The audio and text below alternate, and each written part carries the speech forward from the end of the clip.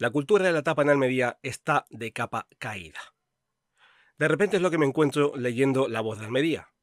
El titular de que Almería está fuera de la lista de los mejores bares de tapas y que Andalucía es la comunidad con más presencia, gracias a Málaga, Granada y Sevilla, da a entender que en Almería pasa algo muy grave.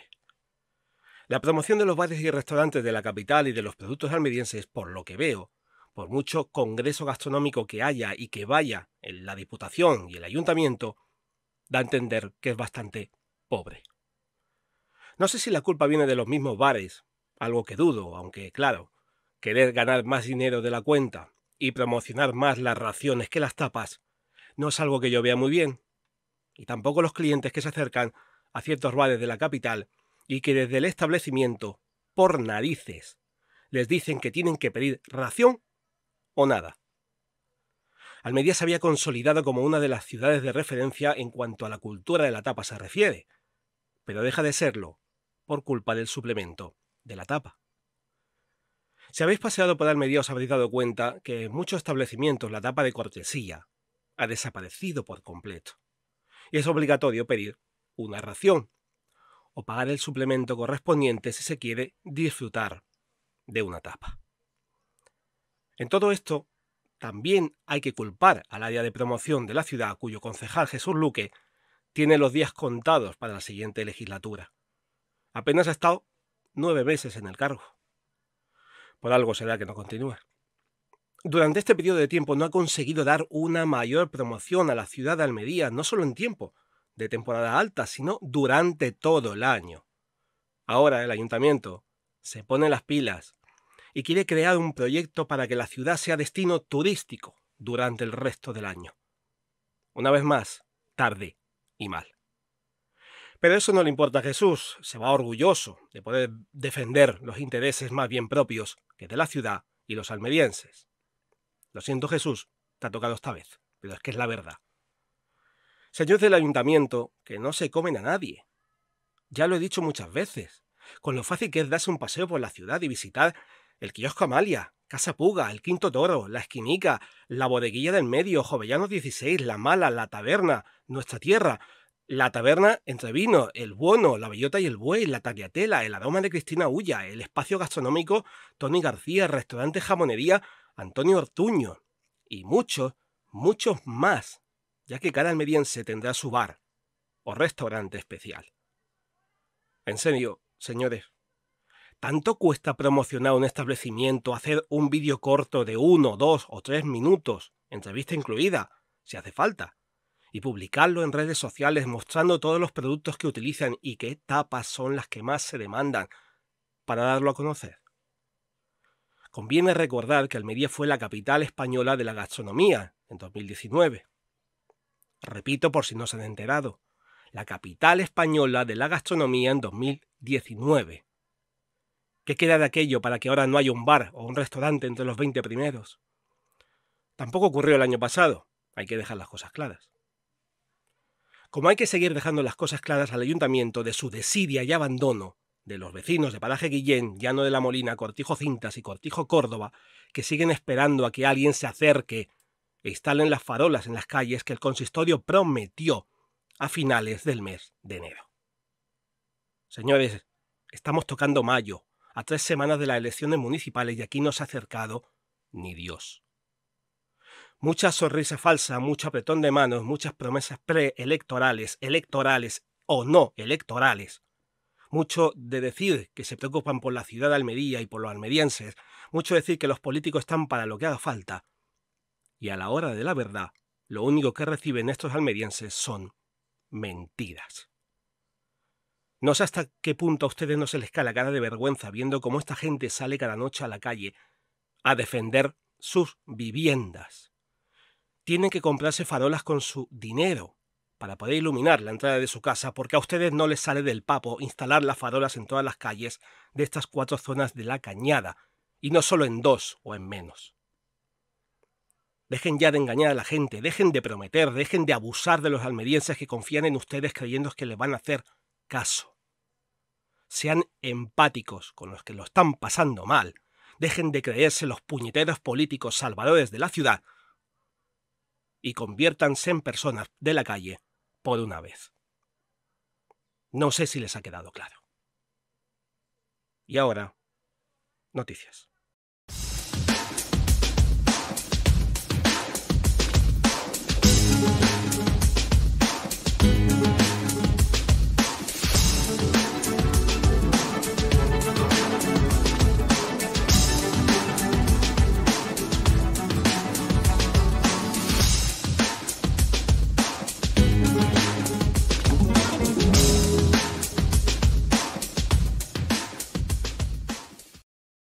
Comienza esta nueva edición con una noticia que nos acerca un poco más al milagro científico de encontrar la manera de acabar, o por lo menos controlar, ciertos tipos de cáncer.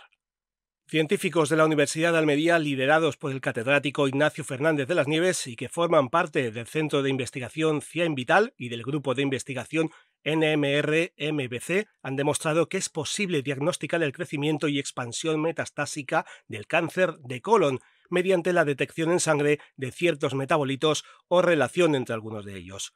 Los metabolitos son una sustancia que el cuerpo crea o usa cuando descompone los alimentos, los medicamentos o sustancias químicas. Este descubrimiento podría ayudar a diagnosticar el cáncer de colon y recto metastásico de manera más temprana. Los científicos de la Universidad de Almería han llegado a esta conclusión gracias también a la colaboración del Departamento de Anatomía y Embriología Humana de la Universidad de Granada y el Servicio de Oncología Médica del Hospital Universitario Virgen de las Nieves de la capital granadina. Los resultados de la investigación publicados en la revista NMR in Biomedicine forman parte de la tesis doctoral en curso de la estudiante Ana Isabel Tristán, y son de gran relevancia social, ya que el cáncer de colon es el tercer tipo de cáncer con mayor incidencia en el mundo y el segundo con mayor mortalidad. En el estudio han participado la doctora Ana Cristina Abreu y Ana del Mar Salmedón López, ambas miembros del grupo de investigación, Francisco Manuel Arrabal, Mireya Estela López, Silvia Fernández, Bernardo Sánchez, Ana Isabel Tristán, Melisa Olmedo, Juana María Pérez, Cristina Ruiz, Natalia Gutiérrez, Ana Belén Ruiz, Ignacio Fernández. Almería pone bajo su protección 13 edificios más de la ciudad, en su mayor parte de carácter religioso, aunque los hay también de otros estilos de arquitectura e ingeniería civil. Todos estos inmuebles ya forman parte del catálogo de edificios y espacios protegidos. La aprobación definitiva de la modificación puntual número 77 del PEGOU 98 de Almería ha tenido lugar este viernes 28 de abril en el pleno extraordinario convocado en el Ayuntamiento de la capital. Esta es la tercera propuesta de ampliación llevada a cabo por el equipo de gobierno municipal, con lo que se eleva a 64 el número de inmuebles protegidos en estos últimos cuatro años, creando un listado total de 527.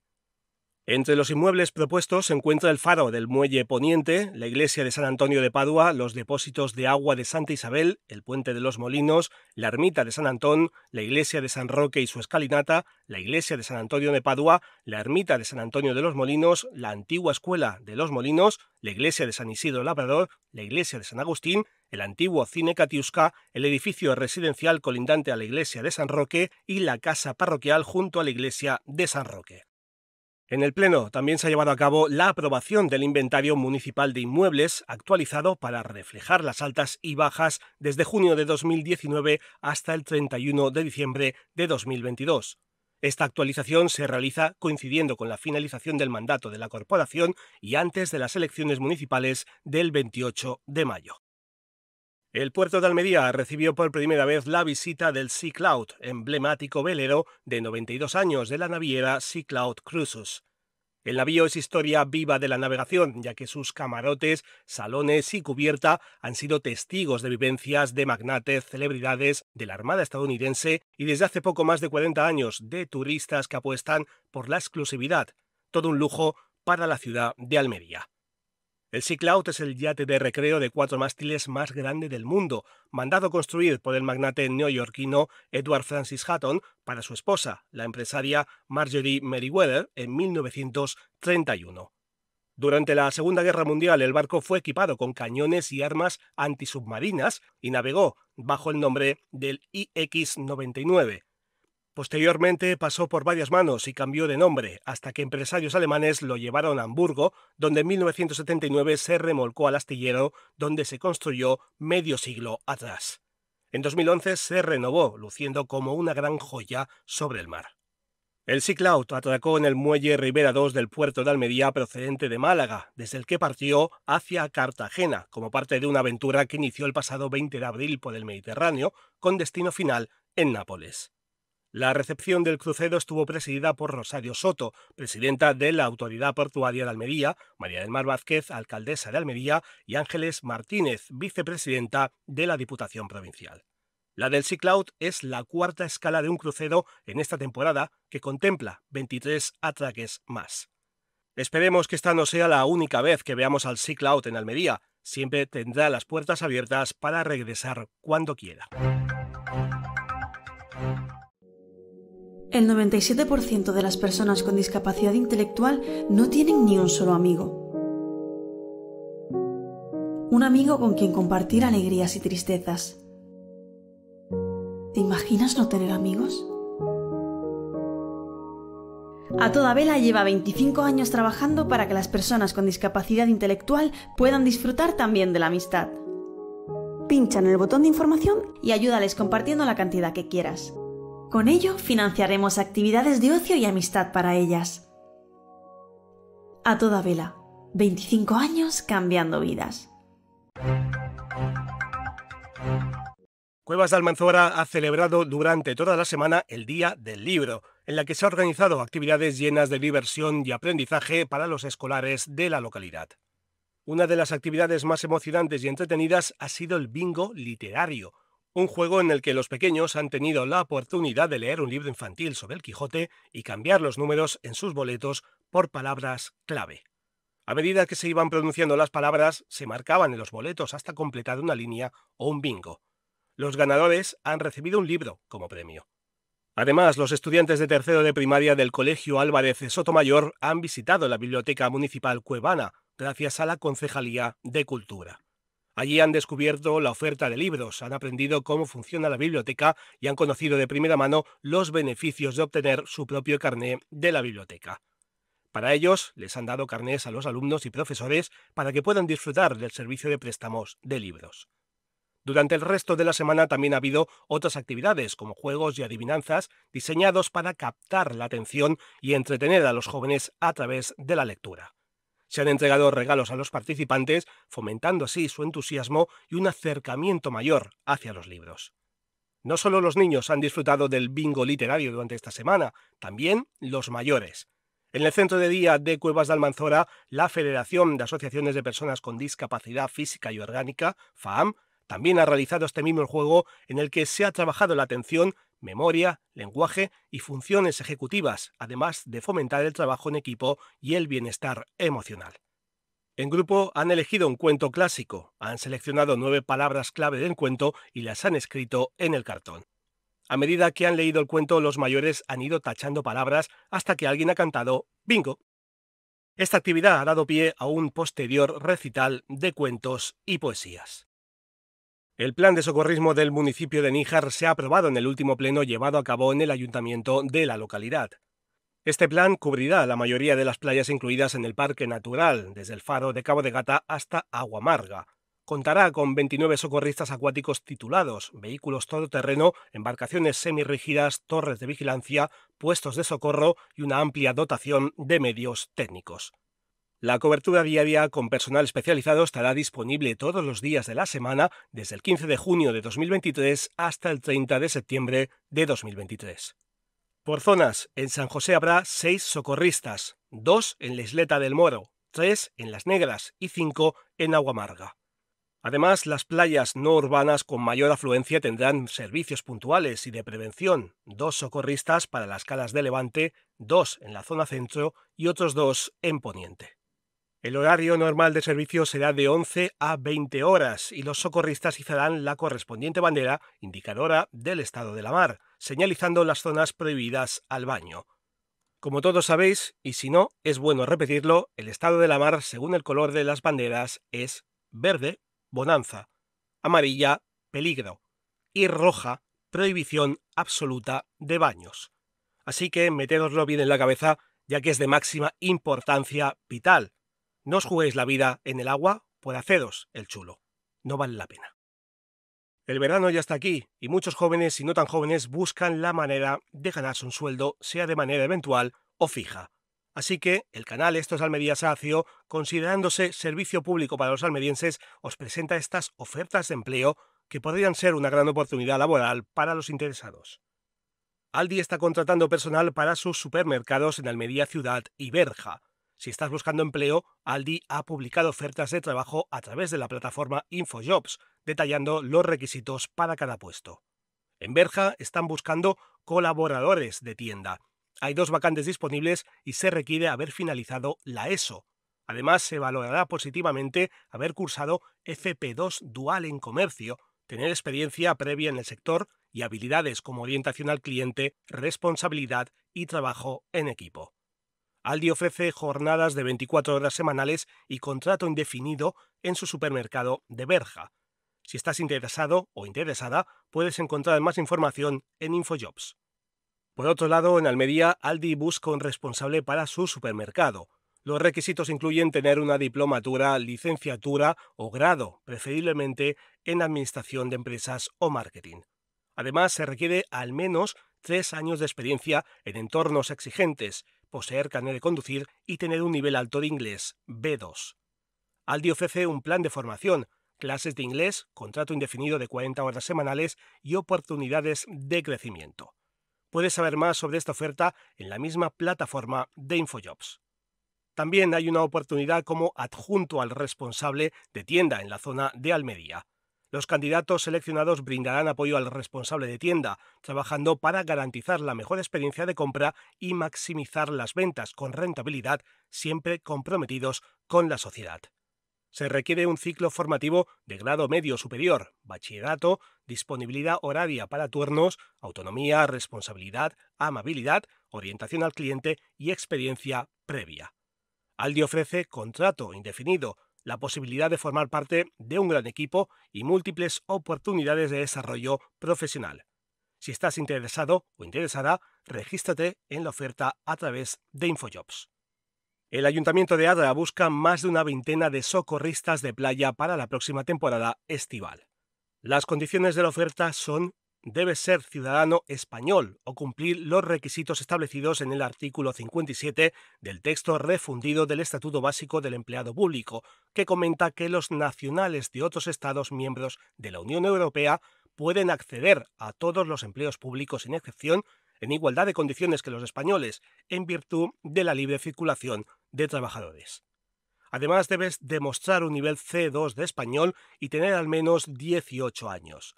El contrato tiene una duración de tres meses, desde el 15 de junio hasta el 15 de septiembre de 2023, a jornada completa.